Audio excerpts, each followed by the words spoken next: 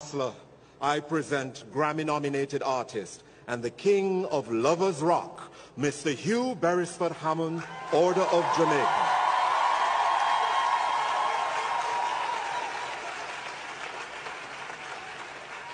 Beres Hammond, as he's known to us, danced into this life on August 28, 1955.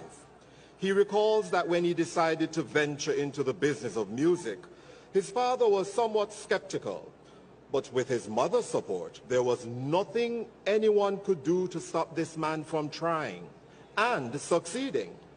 From being lead singer of the Jamaica reggae band Zap Pow in the 1970s to the lush instrumentation of his 1976 album Soul Reggae, to the spare digital beat of his 1985 dancehall breakthrough, What One Dance Can Do, nothing has stood in the way of his creation of music that will last forever.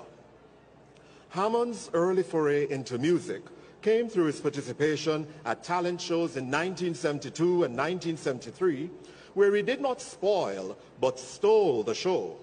His first release, a cover of rocksteady singer Alton Ellis's The Wanderer, would be the beginning of such a golden time that shows no sign of parting, a prolific career which to date has produced 19 solo albums.